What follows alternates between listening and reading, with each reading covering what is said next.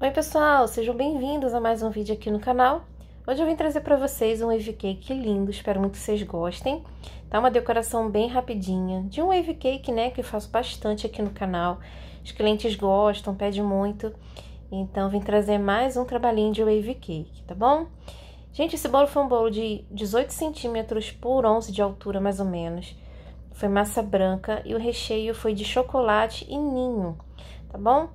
Cliente me pediu, gente, um amarelo, um wave cake amarelo, mas um amarelo quase um bege, né? Então, para eu fazer essa misturinha, uhum. um bege não, gente, um marfim.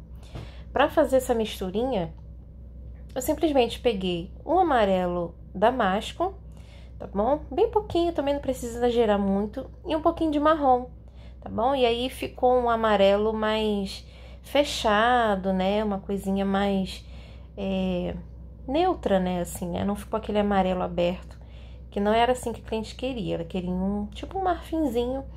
E aí foi eu fiz essa misturinha e deu certo, né? Foi o que a cliente realmente queria, né? O tomzinho que ela queria. Então foi isso, tá, gente? Fiz essa misturinha de cores, né? O, ver... o... o verde, ó. O amarelo com o marrom tá? Mas marrom também bem pouquinho, tá? Só para dar aquela fechada na, no amarelo. E ficou nesse tom, tá? Então, gente, é aquele procedimento, né? Fiz a pré-camadinha, eu gosto de fazer pré-camada. Tem gente que não faz, tem gente que acha que não precisa, que não afeta em nada.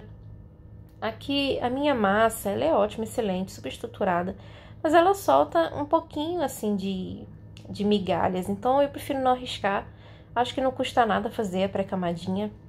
Então, eu fiz a pré-camada e apliquei o chantininho, tá? Meu chantininho é o chantininho estabilizado com pó para glacê real. Tem vídeo aqui no canal, tá bom? E aí, na parte de cima, já fiz aí esse efeito aí com o pincel. Gosto muito de fazer esse efeito. E peguei minha mini espátula. Essa espátula aí é da Blue Star e tô aplicando aí, tá? Fazendo aí esses movimentos de ondinha e assim está pronto o nosso trabalho, tá? Essa parte aí. Eu sempre gosto de tirar os excessos, às vezes eu vou fazendo aí, fica um excesso grande aí, e aí eu tiro, tá? Não sei se vocês viram.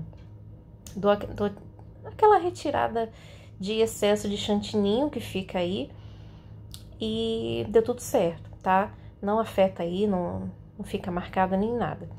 E aí limpei o pratinho, já tô aplicando o topper também, super simplesinho, tá? E tá aí pronto, gente, trabalho de hoje, um bolo bem rapidinho, bem lindinho também, eu acho que, né, o simples também fica maravilhoso.